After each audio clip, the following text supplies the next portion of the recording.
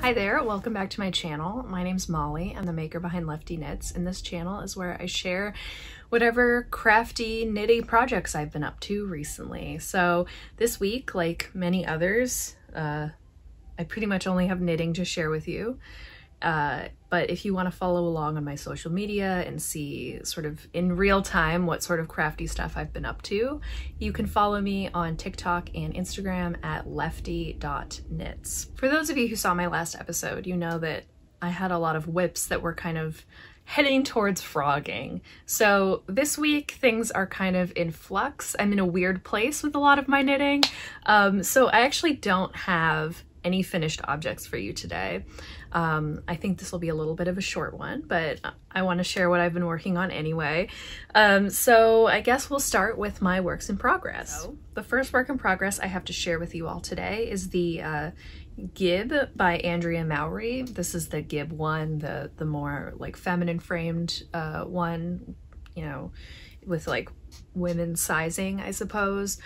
Um, but this is all progress. I cast this on since the last episode, so this is all progress I've made since then in the last couple weeks. Um, so in my last episode, I had used this yarn, which is uh, Jaggerspun Zephyr, a 50% wool, 50% silk blend, uh, worsted weight, uh, and the colorway I have for mine is Sable.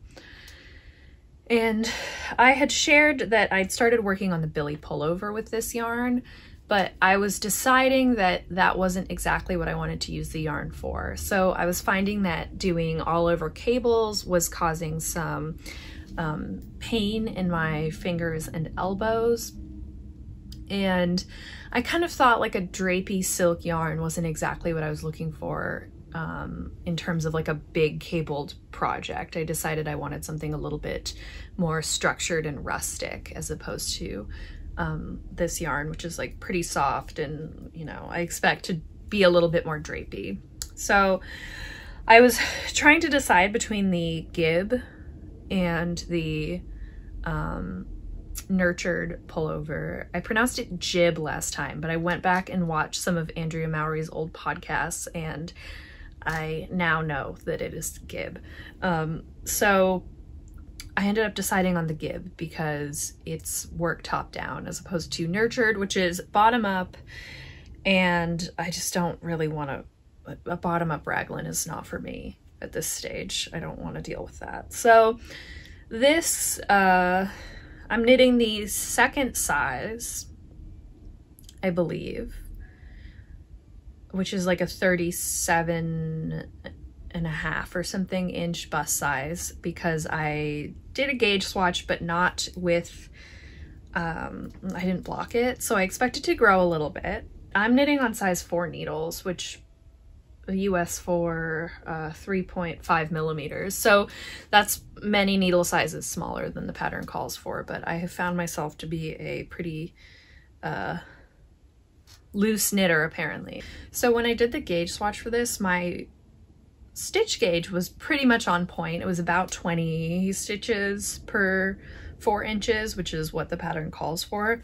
But my row gauge was way off. So I believe the row gauge for this pattern is 32 stitches for four inches, um, which like 20 stitches by 32 rows seems like a really like small row gauge for that stitch gauge. But in any case, I was not getting nowhere near that. I was getting closer to like 24 stitches or 24 rows, 20 stitches and 24 rows per four inches. I had already bought the pattern. So I looked over it, I looked at the sizes, and it turns out that there is a decent amount of um, like knitting in the yoke that's being done after you do the sleeve uh, and you finish the increases for the sleeves.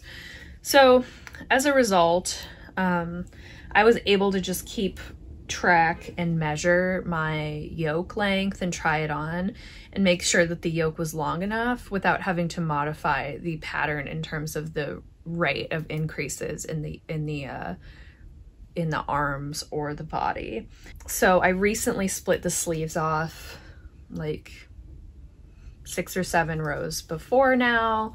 And um, so far it's it's like a little bit tight, I guess, but I am happy with it and I think it'll grow over time, especially because I tend to think of silk as being like a little bit heavier or like just, you know, not not like tightening back up in the same way wool does, doesn't have quite the same amount of elasticity. So I think that this size will work pretty well for me. Um, and I'm enjoying this stitch pattern. It's a lot of purls, um, which I don't mind purling that much, especially now that I knit continental. I don't mind having to switch from knitting to purling as much as I did when I was an English knitter. Um, I will say something that's been interesting about this pattern for me is that the um, the short rows that you work for the back neck are worked um, with the ribbing, so they're worked into the cuff. So if you look at the cuff on the back, it's longer than the cuff on the front. And that's new to me. Typically, I have worked um, short rows after the cuff um, and the cuff is like, I feel like it's a little bit of an awkward length. I'm hoping that when I try it on and everything, it'll end up feeling after it's blocked and stuff. And, you know, even once it's finished, once I finish knitting it, I'm hoping that the cuff will feel a little bit more comfortable.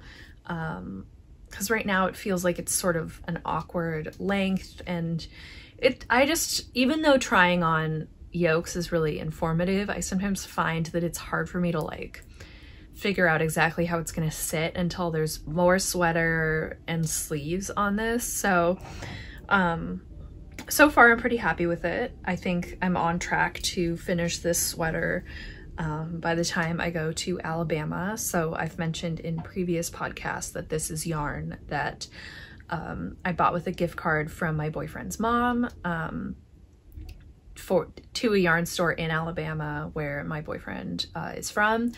And so this was her, her Christmas gift to me. Um, and as a result, I'd really like to be able to bring this with me to Alabama and have it be done and be like, look at what I did with the yarn that you bought. Um, basically the yarn that you bought me. Like I picked it out, but you know, she um, provided the, the funds for it. So this should be done. Um, it's kind of nice working on a worsted weight pullover. I, I tend to do DK or lighter most of the time um, because of living in sort of a, a warmer-ish climate. So um, yeah, it's been really fun. I've enjoyed this. I think the stitch pattern looks um, really nice. I enjoyed making um, the cables on the raglans. Sorry, I keep hearing weird noises, and I think it might just be my boyfriend playing guitar, which maybe you can hear. But in any case, um, this sweater is, uh, I'm really happy with. I think it'll end up working out nicely. It suits the yarn really well. Um, and I think that this will be a pretty versatile piece. And I imagine that since my row gauge is super off, I'll end up having a good amount of leftover yarn. Um, and currently this yarn is on sale at Webs um, or yarn.com. They don't have this color anymore, but maybe I could end up using this for like a fun um, colorwork sweater. So my next work in progress is another sweater, and this one is a design by me. And it's at a stage where it's kind of hard to show. So, um, this, it's really hard to show actually. This is the very beginnings of a sweater by me. Um, this is uh, knit in the uh, Kelbourne Woolen Scout yarn that I had as an acquisition in my last podcast episode. Um, it's, uh, I, I don't want to go into too many details, I guess, before I have a design slightly more ironed out, but um, this is the very beginning of a sweater pattern that I'm planning on um, trying to design. So um, when I picked the this yarn, I, I kind of had some inspiration in mind and I'm looking at kind of making like textured stripes. All I've done so far is the um, basically like the short rows at the neck. So I cast on like the sleeves and the, um, like, so here are the sleeves, the stitches at the top of the sleeves, the stitches on the back and a little bit on the front. And I tried to increase like down the front, um, as I went along and I'll be adding a collar to this after. So this is essentially like a I guess you don't like exactly work short rows because you're working the whole thing just flat, but um, that's kind of like how I am attempting to achieve the neck shaping in this. Um, I'm not sure.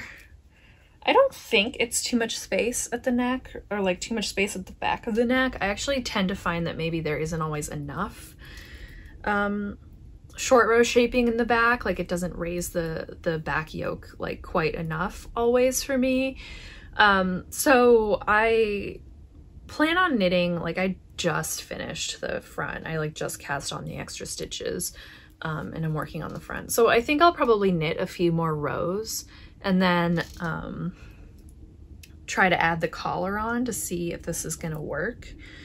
Um like you know experimenting a little, putting the collar on, like does this fit in a way that I like enjoy or do I need to go back to the drawing board? Um, so we'll see. I'm, you know, I'm hoping that maybe I can get this done soonish, or at least some, some form of this done so that I can try it on a little more easily. Um, right now, you know, I, I barely have anything. Um, I will say that it took me a while to decide on a like shaping method for this. Like, you know, do I want to do raglan increases? Do I want to do a circular yoke? And I've currently settled on a raglan, um, on raglan shaping. So for now, um, my, I have this little raglan detail that like is, it looks like a cable, but it's, uh, it's actually not. That's my plan for the uh, raglan increases at the moment and I will be sort of working on this some more and I'll have more information for you in the future. But right now, that's kind of where things are at. In other episodes, I've shared a few things that were works in progress that I haven't quite worked on. Um, so I have a baby onesie uh, for my boyfriend's brother and his girlfriend who just had a baby and um, it's a six month size, but their baby was born last week at over nine pounds. So I'm hoping that maybe I can finish that sooner rather than later. I haven't picked it up since the last podcast episode where I talked about it. Um, but you know, I, I think I need to get a move on. I'm hoping that can maybe be a Christmas gift. The baby will be like three-ish months old then, two, three months. And the sock that I worked on in my last episode, seeing how much I could knit in an hour, is another new project that I have. My cat is trying to get out of the room. Give me one sec. The sock that I worked on in my last uh, video is um, definitely being worked on. So I find that um, I haven't worked on it too much and I find it hard to knit on it for an extended period of time because the color work and the the thin yarn and the circular is like a little bit hard for me to like deal with and knit on for a long period of time right now. But it's been a great alternative to the sweater projects I've been working on, especially when I was still doing like the when I'm working on a raglan more often. I've been picking up my gib a little bit more. Um, and I just finished the yoke. So now I'm onto like the straight body knitting part. But when I was still doing the raglans and the rows were really long and like kind of a little bit involved, I found myself picking up the uh, sock a little bit more often um, those socks are the Midwinter Sock Set version 3 by Summer Lee Design Co.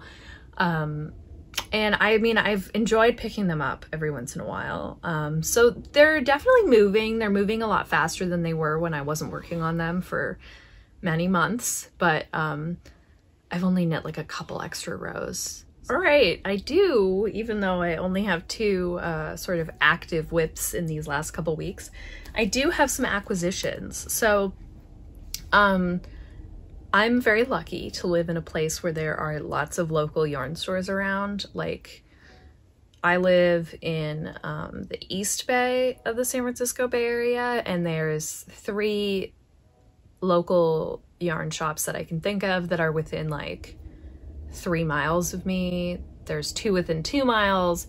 Um, so I'm really lucky that there's a lot of options that are like very close to me. You know, like there's one that's like it's it's pushing it, but there's like one of them is basically walking distance. So um I don't find that I need to travel that much for yarn. Um I mean, I order a lot online anyway, but I don't have to go very far.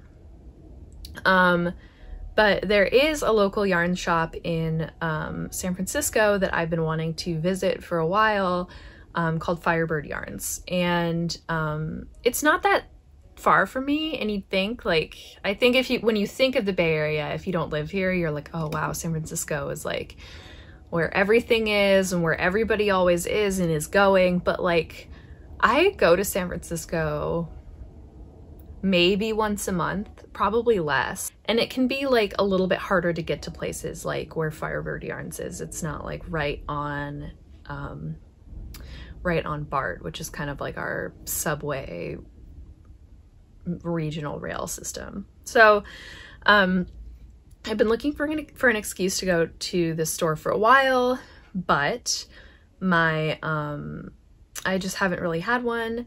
But this week, they, this past weekend, they had a trunk show for a ceramics company, uh, this woman who makes ceramics. I believe it's a woman. Um, unfortunately, I can't remember the company name. So I will put this person's, um, name on the screen here and I will also uh, link their like sites and stuff down below so that you can check them out. But I figured that this was the perfect opportunity for me to drag my boyfriend into San Francisco to this yarn store because he is pretty into ceramics. I thought like, oh, you know, this time I can have him like look at the ceramics and stuff and he can do that and I can look at yarn um, and it'll be great. And it was, it was really awesome. Um, unfortunately, Will, my boyfriend didn't end up finding anything um, that he liked, but he is a very good sport at yarn stores. I don't want to make it sound like he isn't just down to like hang while I look at yarn. Um, but I uh, ended up walking out with a good amount of stuff. Uh, I'll start with this very cute little pin. Sorry for the crinkling. I haven't taken it out of its case. So this is um, made by the Cl the Clever Clove. Um, that's the maker of this pin.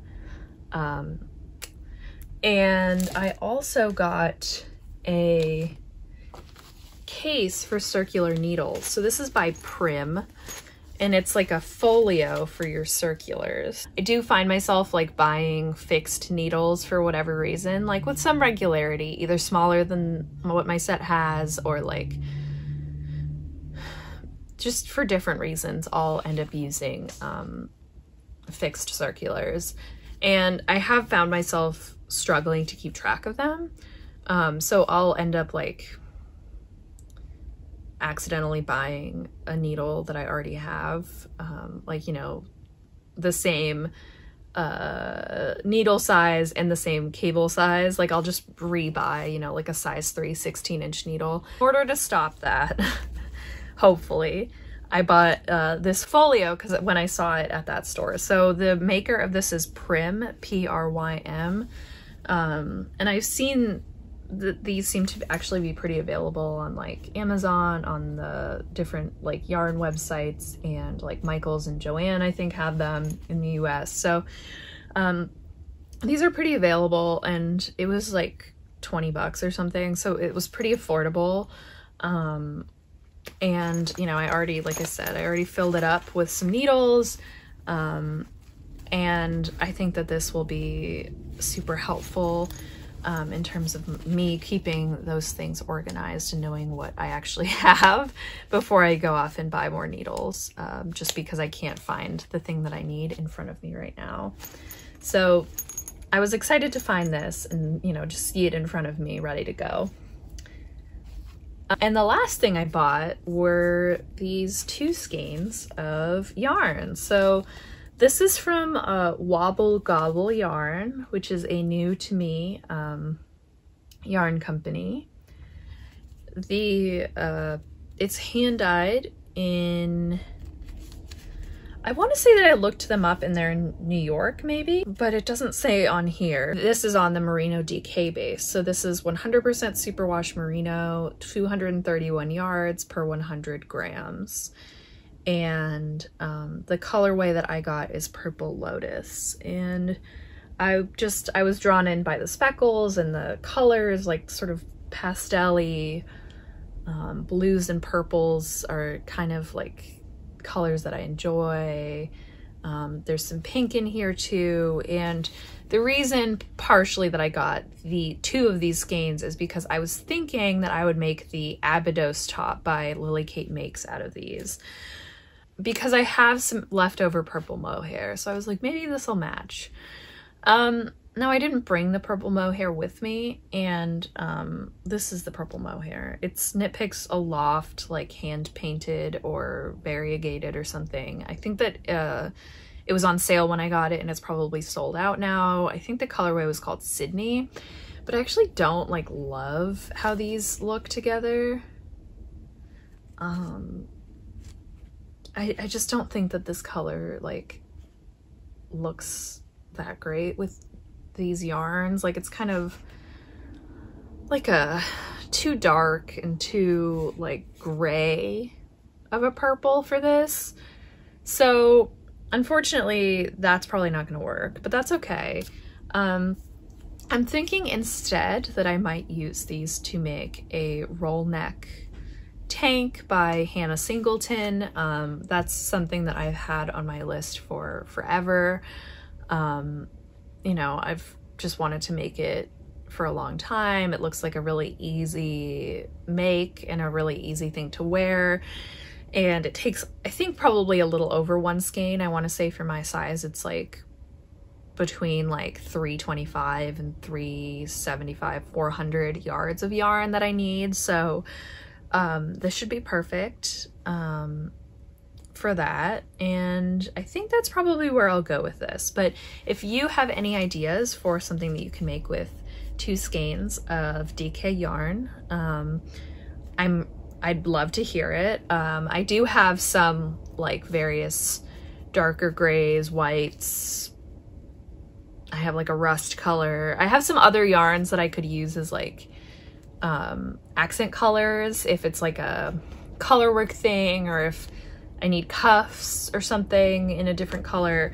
Um, unfortunately, you know, so this is like 462 yards of yarn. I'm not sure that I would be able to get something with like sleeves out of this. Um, but I'm open to suggestions if you have suggestions. Not that mad that like I don't really love this pairing. I think it's fine. I don't regret buying this yarn. I think it's beautiful and I think that there's like plenty of uses for it. So this will work out just fine. I think it's always fun to see like a, a dyer that you've never heard of um, in a yarn, in a new yarn shop and just sort of like check out something new. Um, and yeah, that was the last thing that I bought at Firebird. Uh, it wasn't actually that hard to get there. Um, I really liked some of their yarn options. They had like these mega uh, skeins, mega hanks, I guess, of a Suri alpaca blend that I think were meant to be used as part of a kit, but it's like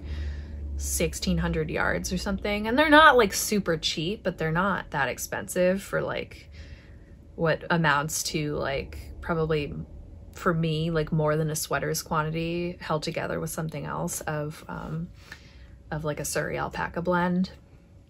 So that was something I had my eye on. I might have to go back for that or order that. Um, but you know, that's that's something for future me. As I've mentioned before, I really love visiting new yarn stores. So I had an awesome time uh, checking that out and grabbing some useful items from there. Uh, that's all I have for you today. Thank you so much for watching. If you enjoyed this video, I'd love if you would consider uh, liking this video and subscribing to my channel because that would help me out a lot. Uh, I'd love to hear what you're working on. Please leave a comment and let me know. Um, and if you have any ideas for DK weight yarn, definitely share.